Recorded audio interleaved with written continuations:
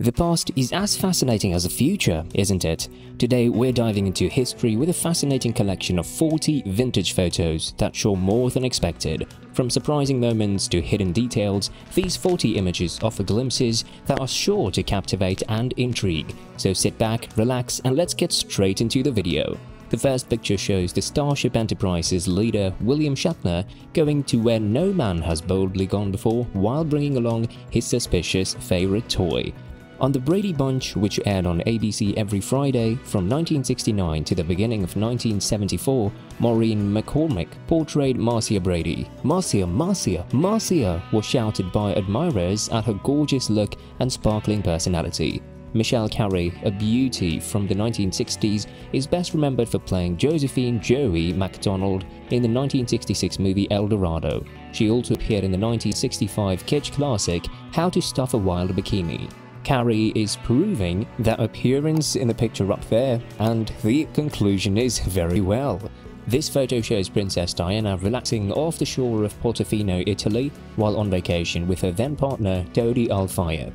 Dodi's father, a wealthy businessman Mohammed Al Fayed, owner of this boat, named Jonikal.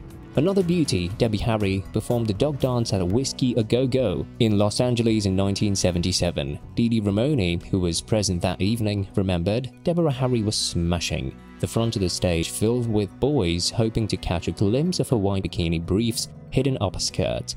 This one is for the DC fans. Yvonne Craig is getting ready for her part as Batgirl in the campy ABC TV series Batman in the 1960s. Batgirl donned up a purple and yellow suit, although it's not clear from this picture.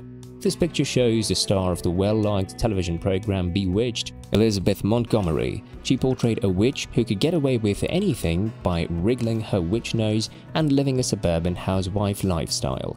The following picture depicts the boldness of women in the 90s era. When it comes to pants, hot styles are my favorites. Here is a publicity photo of British actress Madeline Smith in hot pants and lace-up boots, who gained fame for her 1970 movie The Vampire Lovers. Here, two beauties, Lynda Carter and Loni Anderson, posing for a promotional photo of the television show called Partners in Crime 1984. The NBC television program Partners in Crime had one season and 13 episodes before it got cancelled. The following picture will amaze you about vintage fashion. The pointy bullet bra popular in the 1950s gave ladies the appearance of having torpedo breasts. Undoubtedly, the trend of showcasing large triangular-shaped breasts was in vogue the Whirlpool Circle Stitch, a new circular stitching technique, contributed to the missile effect which went well with the era's skin-tight sweaters. The epitome of beauty, Marilyn Monroe, she pictured in 1953 by John Vachon. She was shooting River of No Return in Canada. Here is a picture of Nai Bonet, a belly dancer, actress, and singer who worked in the 1960s and 1970s. She acted in a couple of films and TV shows. Lemmy, Kilmister, and Samantha Fox in the 1980s. Over time, the unexpected duo stayed friends, and the rest is rock history. Getting ready to dance, Sandy Duncan is posing for the camera. Anything and everything was within Sandy Duncan's abilities. She performed on stage and in cinema as an actress, singer, dancer, and even comedian. In this stunning old photograph, Sharon Tate appears classy. Her high heels are tossed aside as she sits on a footstool in the backdrop. In this lovely old photo from 1958, you can see Marilyn Monroe in a more conventional role. She is seen in the picture giving the spouse with a drink while he talks with a colleague. Here's another side of Samantha from Bewitched. It's this beautiful old photograph she acted as a wealthy woman who fell in love with a gangster.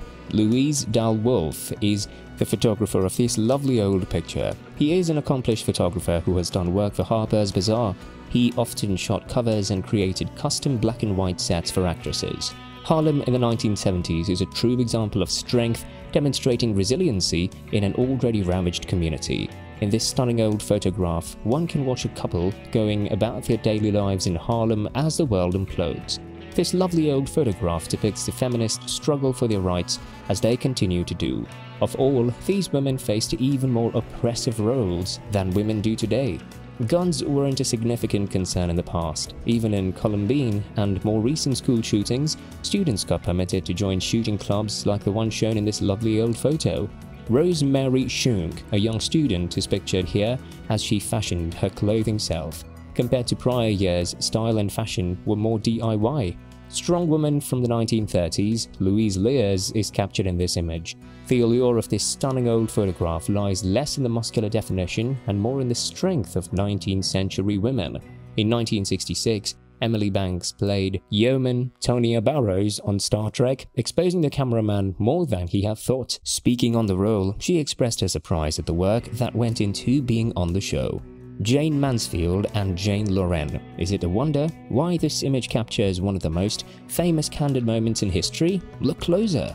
Before becoming shipwrecked on Gilligan's Island, Tina Louise appeared in The Warrior Empress in 1960.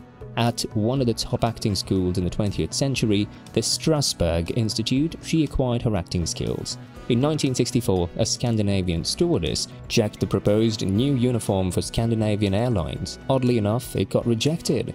You might recall Jocelyn Lane as Elvis Presley's love interest in the movie Tickle Me, in which the king starred as a champion bull rider, but she had quite the career before she was a hunker hunker burning love.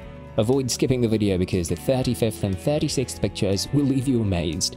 Look again, that's not Sophia Loren, that's Scilla Gabel, her body double in several of her most well-known Italian movies. Even if they weren't identical twins, they could have been. When Faye Dunaway acted in The Happening, she had already achieved great fame. She became well known among movie buffs and guys because of her breakthrough performance in Bonnie and Clyde the legendary Janis Joplin. Elliott Landy took the pictures in 1968 while visiting Rhode Island. We may consider Janis Joplin one of the significant and moving voices of the 1960s, but the singer claims that her parents were the only ones who failed to comprehend her. Remember the stunning Alexandra Bastedo and her heart-piercing eyes? The fascinating honor of being a Bond lady who wasn't actually in an authorized 007 film belongs to British-born Alexandra Bastedo. Nobody better than Priscilla Presley, Elvis Presley's only true love, personifies the jet-set lifestyle of the 1960s. One of the few who had been in contact with the king was she. Raquel Welch captured shooting on the Magic Christian set 1969. Welch portrays the priestess of the whip in the movie. However, the garishness of her costume gets lost in the din of this over-the-top critique of capitalism. By the start of the 1960s, Wood had developed from a child star to a legitimate adult actress with a resume full of highly acclaimed plays. In 1962, Sophia Loren wore fishnet stockings. Sophia Loren, one of the most attractive women on the planet, could have survived the 1960s based on her beauty alone, but she is more than just a lovely face. Mie Hama, a Japanese actress, portrayed Kissy Suzuki in the James Bond movie You Only Live Twice. Two of the first sweater girls, Jayne Mansfield and Lana Turner, were the actresses who favored wearing very tight sweaters to draw attention to their chests. In the 1960s, Raquel Welch was donning a leotard. She is one of the most well-known female figures from the 1960s, although most of our memories of her revolve around the fur bikini that forced everyone to look twice. When she got into the movies, she said she didn't realize how crucial her appearance would be a teenage Ann-Margret, on the State Fair set in 1962. She enjoyed singing for the troops at USO events during Vietnam, with performing in some of the most entertaining movies of the 1960s. Soldiers went insane when they saw her perform since she got so adored during the era. That concludes today's video. Give this video a big thumbs up and leave a comment to see more of this kind of fascinating content. We shall see you at the following one if you subscribe to us for more of this sort of stuff.